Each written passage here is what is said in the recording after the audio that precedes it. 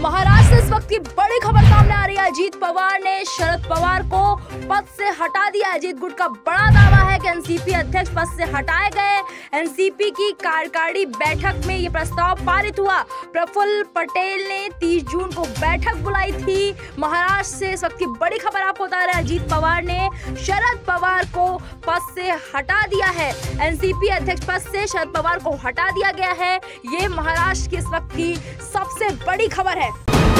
VK news, राष्ट्र के नाम।